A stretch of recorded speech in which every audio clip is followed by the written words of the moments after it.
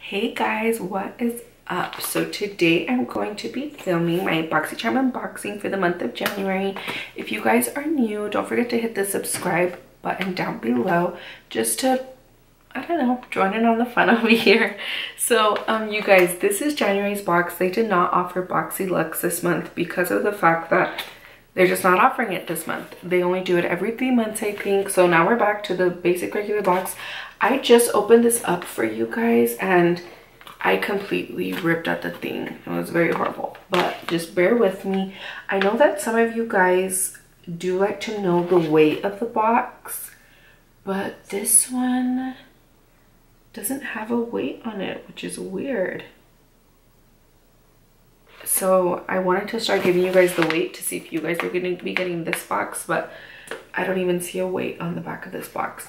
But anyways, you guys, I'm going to do my unboxing a little bit different this month. I'm going to go on ahead and try on these products. So I already did my foundation.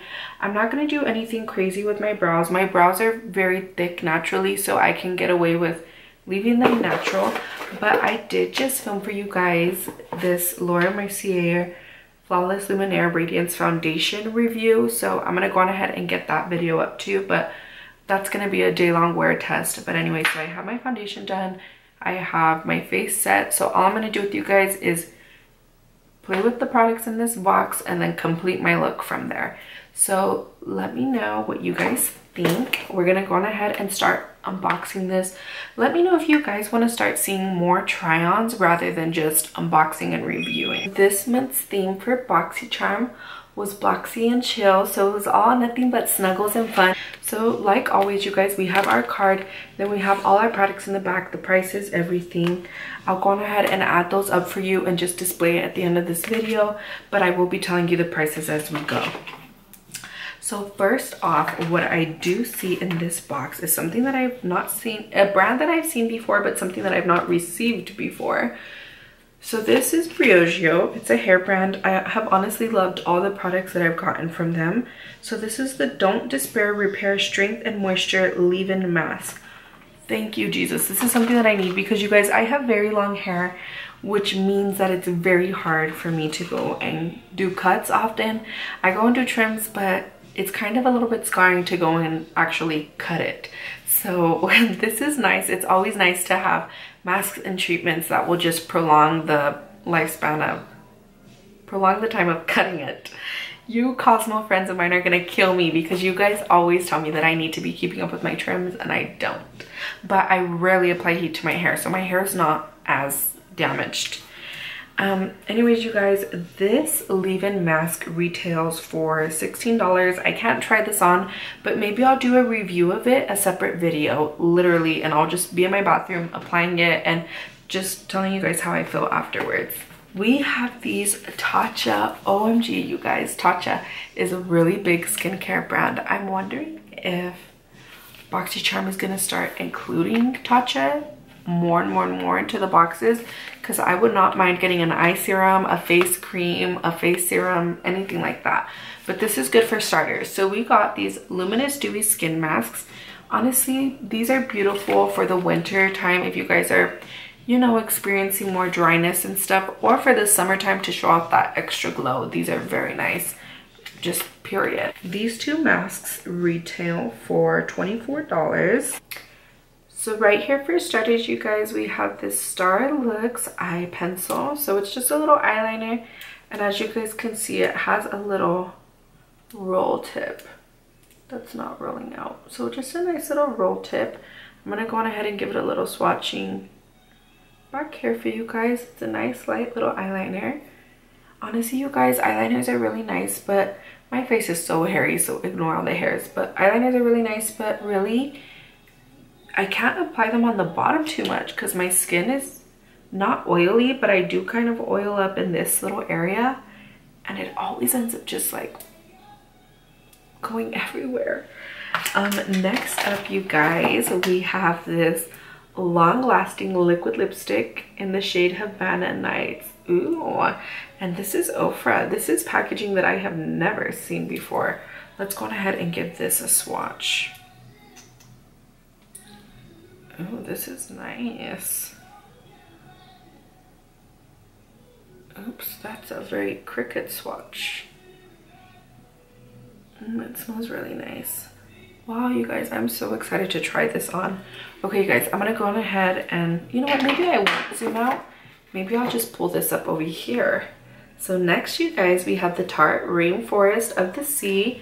This is the volume three. Now let me see which volumes I have so far. So, so far I've gotten volume two from BoxyCharm. And just to give you guys a preview again, this is what volume two had looked like. Now we're getting volume three, which honestly, you guys, I have never really liked these Tarte Rainforest of the Sea palettes. But because I'm a makeup lover, I'll still use them and I'll still play with them.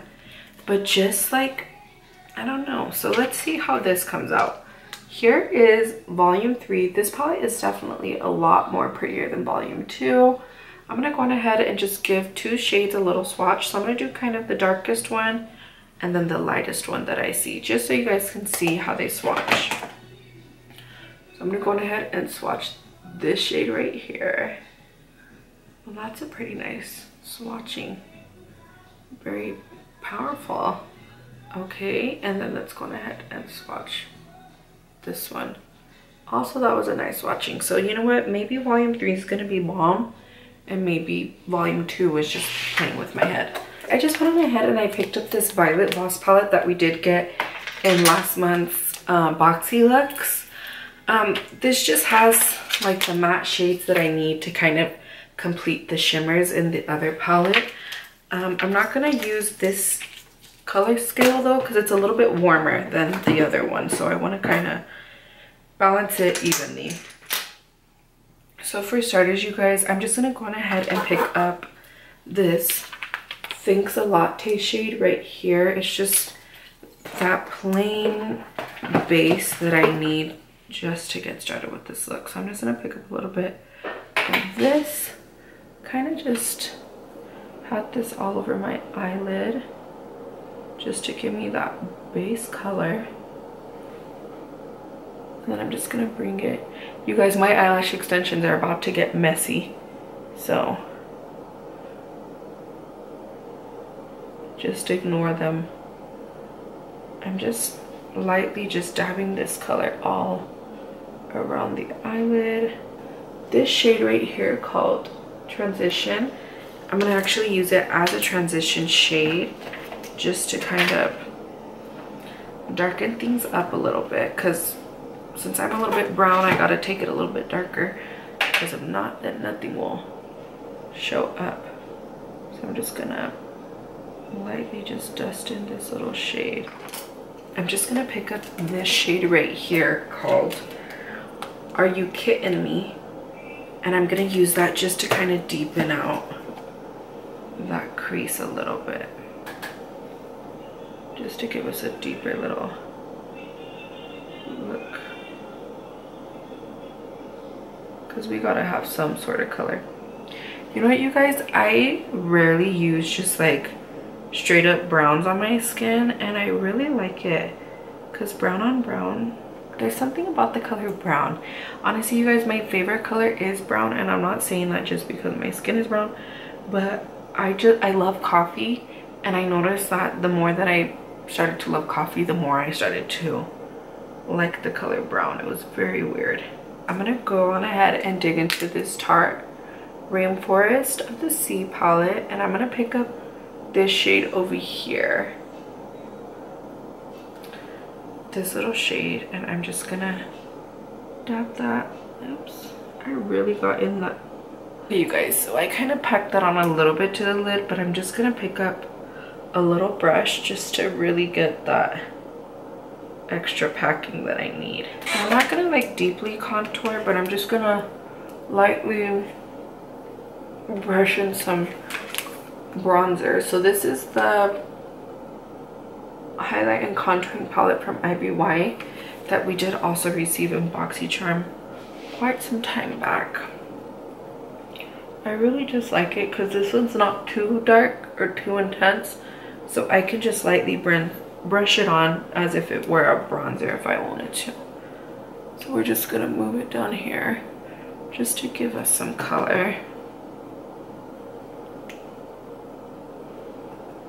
Okay, then I'm just gonna bring it up here.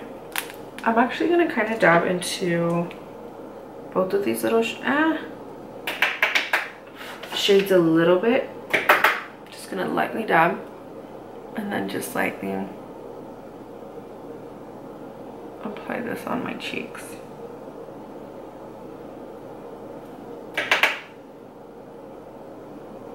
I like to kind of just dot it around the little center. And then I'm going to pick up this highlighting brush and dig into some of this highlighter on the side. This kind of picks up a lot of powder. We're just gonna, if we can, lightly just highlight the sides a little bit.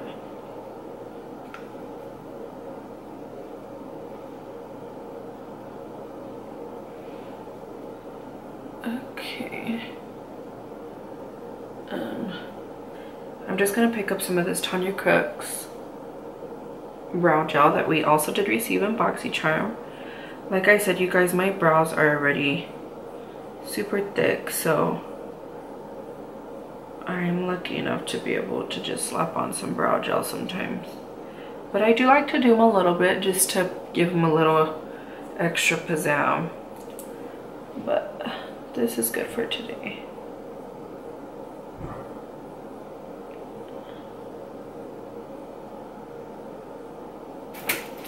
So I'm to go on ahead and I'm to pick up this Double Decker mascara that we did also receive in BoxyCharm. And I'm just going to lightly coat my bottom lashes. Ooh. So I kind of just lightly coated my bottom lashes a little bit. And then I'm to slap on this liquid lipstick.